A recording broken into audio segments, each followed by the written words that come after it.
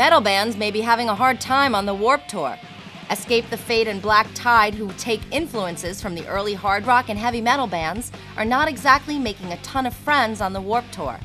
There are some respectful bands, but they're definitely the black sheep.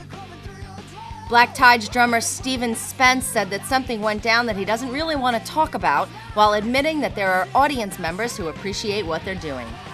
There's been there's been some stuff. Can't really probably talk about it. I don't like to talk ish about other bands. I don't know if I'm allowed to say ish. It's all good. Okay, cool. But I just maybe maybe you just got to be on the Warped Tour to know about that stuff. So what happens on the road stays on the road. So that's one of the things that I'm boss. Our uh, our genre is definitely a lot different than uh, all of the other bands on this tour. You know, I feel like it's a good thing though because we stand out.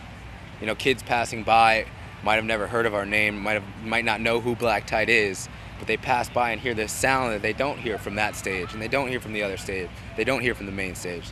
So it's cool, and you definitely see, at least when I'm on stage, I don't see too much because I'm kind of in my own world back there. But when I do see kids back there standing, not necessarily the the greatest crowd that we've ever had, but they're standing and they're they're listening and they're like, wow, you know, this is interesting.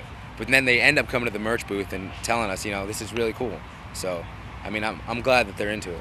Escape the Fate, who took Black Tide on the road with them for a successful headline tour, talked about trying to avoid making enemies on this tour. I'm just trying not to piss anybody off.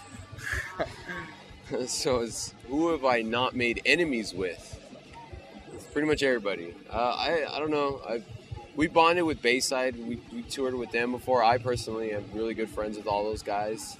Uh, Underoath, some of their guys we we toured with uh, before Warped Tour, and some of them are really cool. Others of them are a little more shy and not into what we're doing, but it's all right. And uh, you know, there's still there's friends a- though. Still yeah, cool. still friends, and um, like there are friends in Black Tide who were on our headlining tour. S- We hang out with them every day, party every day. Love those it's guys, awesome. Black Tide guys. Escape the Fate said they're going to be on a huge tour for the fall, although they've been told not to divulge details.